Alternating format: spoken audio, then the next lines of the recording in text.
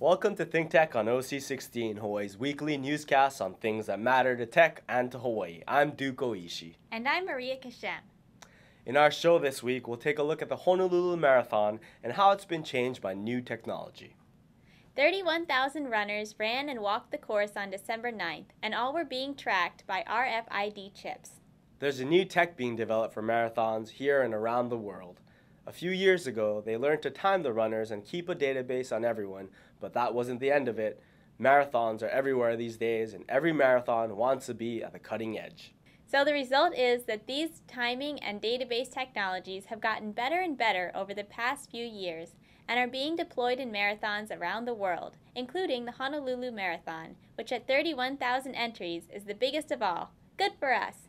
As everyone knows, the Honolulu Marathon took place on Sunday, December 9th.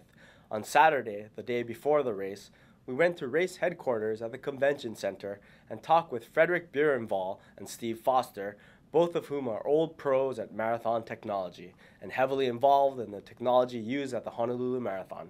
From a technology point of view, we use all of the open platforms, be it Facebook, Twitter, Instagram now, which is a, a company owned by Facebook, as you know, and uh, we use and Pinterest. We, we, the list the list goes on because we use a lot of images. We get a lot of images, and it's all about showing Hawaii, showing the runners in a in a light that they will enjoy seeing themselves and things that they like to share.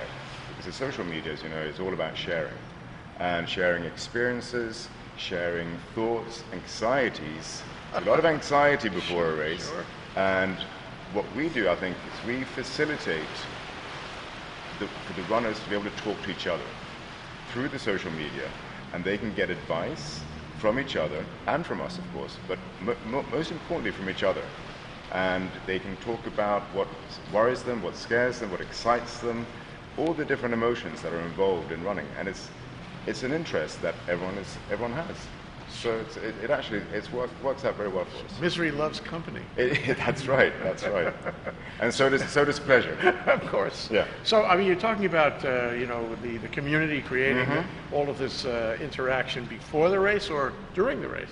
Well, that's interesting because it's, of course, mostly uh, before and after the race. But with Twitter and even Facebook, you have a lot of people now running with the smartphones because smartphones are getting smaller and people are wanting to run with them. And then they can take pictures and they can tweet. So what we have is we've, we have a hashtag mm-hmm. that we ask people to use when they're, when they're tweeting. So we've, this year we started to use a hashtag called Run Paradise, which I think is quite nice. We're also going to have a hashtag called HM Shoutout. Now, the HM Shoutout is one that we'll be following at the radio broadcast. And Dan Cook, our radio presenter, he'll be reading out the tweets and the Facebook updates from people around the world because this is an international race and people come from all over the world. And he'll be getting messages from Minnesota, Canada, uh, Scandinavia, Germany, and be saying, give us a shout out for, for our uh, father, or our mother, our son, or daughter who's running the race. This is really exciting. It is. Because it is a community, but this, this connects the community, so it's Yeah. much more than the loneliness of the long distance runner. Well, exactly. Those days are long gone. You know, you can be unless unless you're one of the top guys and you're at the front, you're not so lonely. When I cross the finish, you're going to know who I am immediately, right? Immediately. How, how do you know that? Well, we there's a there's a there's a list. There's a there's every every runner has a chip in his on his shoe. So that chip, as you cross certain map points along the way, it sends a signal up to the to the uh, to the to the uh, to the ether, and uh, and uh, we we log your split times. So we know how fast you run your first 10k, how fast you run your first half marathon or the first half mar- half of the marathon, and 30k. So we can we can track you the whole way. Oh, that's great. So, give us the stats on this race. How many how many uh, runners do you expect? Well, this this uh, this is a bumper year actually. It's the uh, the largest field since uh, 1997, and we're looking at uh, right as of right now, with about three hours to go till we close registration, we're about 31,000 registered runners. Now, of course, not everyone will run, as uh, every every every race has a has a drop off. People are sick or haven't trained enough. They think it's too hot. So, uh, and also we started the registration process uh, quite a long time ago, about in, in uh, even at, towards the end of December last year, and uh, people don't even remember they, they signed up sometimes. You- So they forget. they forget. But we're hoping we're hoping that we're, I, we have a little we have a little competition on how many runners will finish. But I'm guessing around 27, 28,000, which is which is great. Ninety percent. And uh, it's fantastic for the uh, for the uh, local economy, of course. How does it break down, uh, you know, by local versus uh, Europe versus Asia? It's it's it's, age-wise, it's all uh, okay. This, the Japanese are the predominant visitors from overseas. They they come in at about 55 to 60 percent of the total runners. The uh, number of runners from Hawaii this year is very high. Uh, we have 13, 14,000, 13,000 from from Hawaii That is. which is which is a large number Yes. uh, for a small place. And then obviously California, Washington, Oregon, account, and, and Canada is a, is a large contributor of people. From Europe, it's less, so we try to uh, to to attract people to come. But it's of course it is a long way. We have to remember that to come for. We've had some extraordinary African runners over the years. All the elites, pretty much, yeah. are uh, from a few small towns, very close to each other in western Kenya and Ethiopia. It must be the water. It must be, there must be something in the air there that, that they're doing doing right, and they have a they have a tradition of running and also of training very very hard. Mm-hmm. They train very hard. So what's what's the demographic? Old, young? How does it break The down? average the average age is about 41 years old. Now, what about the uh, you know the uh, the range of, of finish? You expect that the top runners will be coming in what just short of two hours? No, not short of two hours, because that would be a world record, and uh, well, why- why not? We would be overjoyed if that happened, but uh, it's not a, it's not a world record uh, breaking course. Uh, it's quite hilly and uh, it's it's quite hot as well. Okay. But uh, we generally the course record is two hours and is it uh, 11 minutes, and we believe that could be broken tomorrow. Ah, So by the time you air this, of course, you'll know. Yes, uh, yes. But they come in just just uh, about two hours and ten minutes is uh, is a good estimate. So and how about the far limit? How long do you give them to finish? we're unique. We're the only race, marathon race in the world that lets everybody finish. Most races cut off uh, the, the, the race after about six hours. We leave the roads open, we leave our timing mats on the course, and the finish line open until the last person has crossed. Normally it takes about 14 hours. Yeah. So, Fredrik, what time are you going to get up in the morning? I think I'm not sure I'm going to bed. Is there any point? Probably not. Probably not. No, I'll be I'll be getting up at about two in the morning. I'll be down at we, we move our media tent down to the park at uh, about f- three four in the morning. So uh, we'll be there waiting for the start, and we'll be then running our social media activities from that press tent, and we'll actually have people tweeting out on the course as well on behalf of the marathon. And we're going to what we're going to do, which is quite exciting. We're going to be following the elite athletes as almost as they get out of bed at their hotel Great. into the VIP uh, buses that they ride to the start, and we'll be photographing them and tweeting and asking them to to let everyone everyone else who's, who's listening in on the social media let them know how they feel and stuff. Because it's, it's we want to humanize the, uh, the the elite runners who are otherwise quite anonymous. You're doing the timing then tomorrow. Yes, yes, we are. Uh, What does that mean? it means that we have 30,000 plus computer chips out on the course, and uh, we timing locations. We've got timing locations all throughout the course, and every time somebody crosses, we get a time, and we know where they are when they're they cross. Uh, it's a, a, a lot of equipment, a lot of uh, technology, and it's all done, uh, you know, through the internet. Well, through the internet. It's all done through the internet. When you say uh, chips, I, I think of RFID. Am I right? R- RFID. If you take a look, this is this is what like one one of the chips It's the green thing. It's the green thing. That's the, it, it is an RFID chip. Okay, it, it is an RFID chip with uh, that's powered once it goes across the mat itself, and then it's, uh, it sends its information into the, the the actual timing maps that they run across, and then we pull that information out, and it goes into to our systems, uh, and then the person's data is actually attached to that unique chip, so we know every time the person crosses uh, every uh, location on the course. So you, you, you tailor the chip, you stamp the chip, as it were? Well, the, the, the, the, the, is, this is a unique chip. It has a, this one has a number of uh, 1TKA4ZA. that's and that's the you only one. And that's all I need. And then I take and I marry Everything that to the the database. database, okay. I marry this to the database, just Yeah. like they have a race number. I marry Yeah, the yeah. chip number to that race number. And then when the chip goes across, then it, it goes into our system and we, it automatically populates the person's uh, database with the information and with the number uh, times. As soon as the, we get the results, that we take and in turn bounce that information right back to uh, a, a website, uh, which is only about a two, two to three second delay. Uh, to where a person can te- we can tell a person when they cross the mat within a second or two, and actually it's posted to the internet uh, that quickly. Wow. So I will know within two Yes. or three seconds the status of my- Yes. the runners that I am following? yes. It'll all be there? and I It'll all can be there. Search and find their names Yeah, and you, what have you, you? you can go to the website and you can you say y- your wife is running. You select her race number and s- watch me, and you can have a watch me list of just the runners you want to watch. And um, as they, they, they go across, it populates. Oh, It'll that's great. populate just your watch me list, or you can do a, a master search through the whole database, or you can watch just the elites.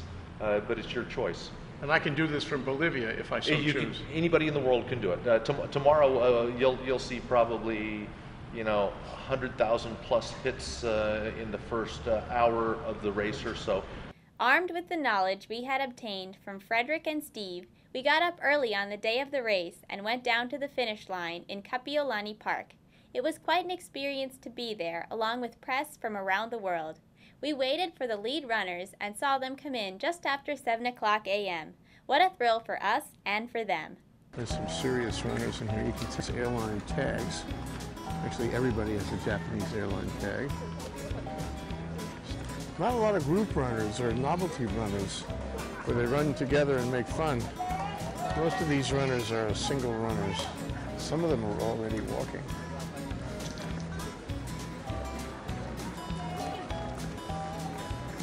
Fantastic. And this is only the beginning. They haven't gotten very far in yet.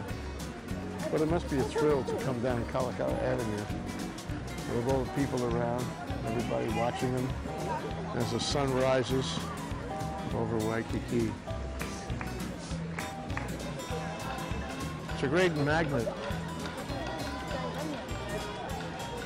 See the lights down the other side of the island now.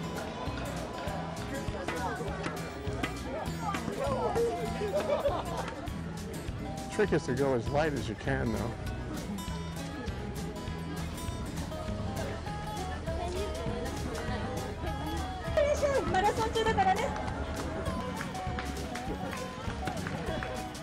So we're going to walk down to the uh, press tent now and see what's going on.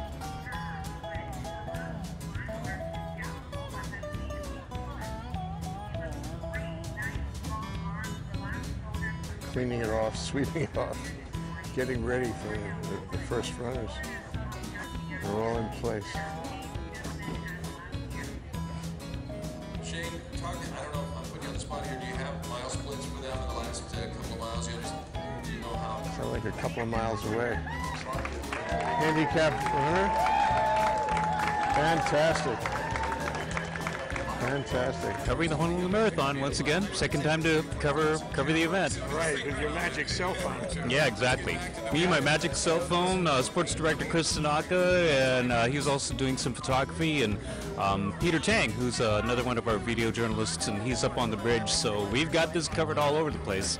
Hawaiian Electric Company, of course. All right, here he comes. Easy, easy. Right across the line. I know if I had his build, I could do that too. Jed from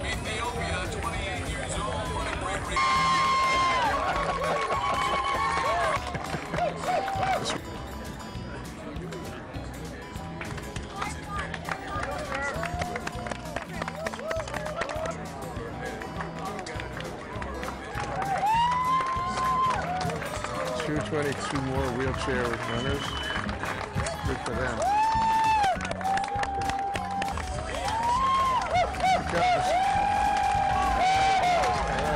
Very nice. 231.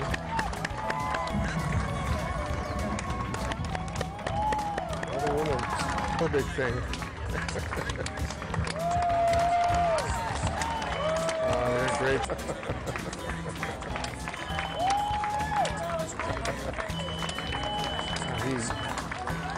looks like he's had a hard race. Well, I think a lot of people here used to run, you know, now they're official. Yeah. For you for coming down, you probably get up at 3 o'clock in the morning. yeah, Jay, that's, uh, that's normal though. Okay.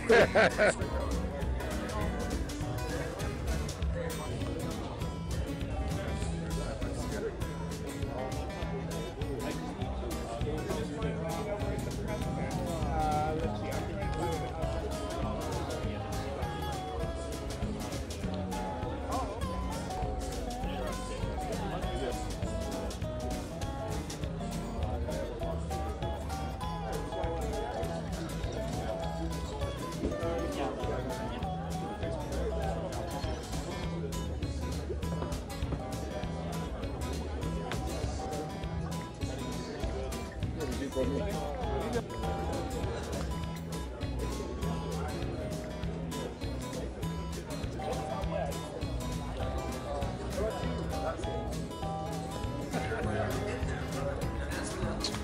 not doing all that well. Just to give their time for the race and for the city. Yolani, Polymomi, and Strap.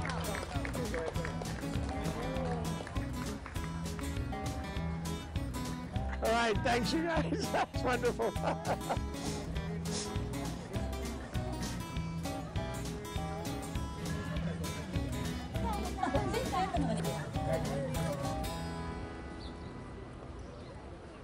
After a while, we walked around to try to get a hand on what was going on among the crowds there, both the crowd of runners but also the crowd of bystanders. The Honolulu Marathon is a great celebration for running, for the runners, for the tourists, and for Hawaii in general. We are so lucky to have started our marathon some 40 years ago. Even after all this time, it suits us well. There were so many volunteers there, you could tell that this was far more than a sports and media event. It was a community event where local people turned out in droves just to be close to the runners and the thrill of the biggest race in the world, the Honolulu Marathon, still going strong after all these years. The roads are blocked in town all the way to Hawaii Kai and back to the finish in Waikiki. People lined the streets and cheered them on. Some people had the inconvenience of not being able to get where they wanted to go that Sunday, but everyone was understanding and supportive. After all, the marathon is good for us, all of us, and it's an event that raises all boats in Hawaii. The crowds came out and there was festival in the air, just the way we want it to be. Families were spending their Sunday together, enjoying their children and friends in the high energy of this high profile event. Spirits were high. We kept on thinking that this is the kind of event and community phenomenon that brings people together from around our island and state. This is what we're really good at doing hosting visitors and athletes from far away who love Hawaii, showing them the people's aloha. Beyond that, the marathon is an investment. It's an investment of time and effort by the race organizers, the sponsors, the runners, the volunteers, the hotels, and the police and medical professionals who work together to watch over them. It's an investment that is paid and will pay great dividends for our state. This is good business for everyone, and it's what makes Hawaii special as a destination resort. We're so glad we were there. We think everyone in Hawaii should share in the excitement of our marathon. It's a great way to spend a lovely Sunday morning and a great way to feel good about our state. If you didn't go last weekend, you might want to participate in the new Hapalua Half Marathon next spring, and of course the next marathon next December. We all owe it to ourselves to be there.